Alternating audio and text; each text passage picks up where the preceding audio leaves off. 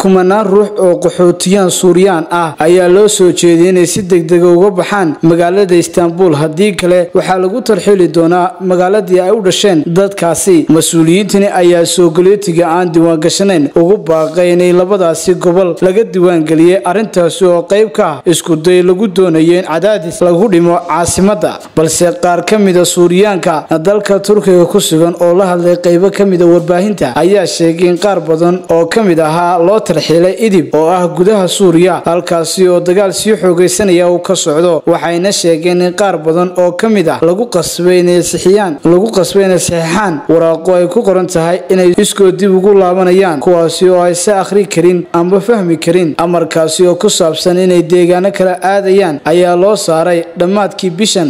Dadka ayaa arrintaasi saamaysay waxaa la siiyey qiyaastii bil si ay amarkaasi u fuliyaan. Tan iyo markii ay bilaabmeen colaadaha suuriya sideed sano ka hor dadka lagu qiyaasay saddex dhibic lix milyan oo ruux oo suuriyaan ah ayaa u qaxay dalka ay dalka yihiin ee turkiga. Dad lagu qiyaasayo nus milyan ayaa lagu diiwaangeliyey istaanbul balse waxaa jira qiyaas sheegaysa in dadka labalaaba ka badan tiradaasi ay ku nool yihiin halkaasi kuwaasi oo ka mid a gobollada ay markii ugu horreysay isku diiwaangeliyeen. Markii uu badhasaabka istaanbul ku dhawaaqay tallaabada bishii hore wuxuu sheegay in suuriya sharci u haysato inay caasimada ku noolaadaan. Loogana baahan yahay inay mar kasta wataan baasabooro ay wataan aqoonsi kale wuxuuna ku dhawaaqay in si joogta baaritaan lagu samaynayo goobaha lagu raacayo basaska iyo tareenada. Horaantii bishii agost labiyo toban kun oo ruux oo soogolooti ah ayaa lagu soo wareejiyey gobollada ay ka diiwaangashan yihiin halka laba kun iyo lix boqol oo ruux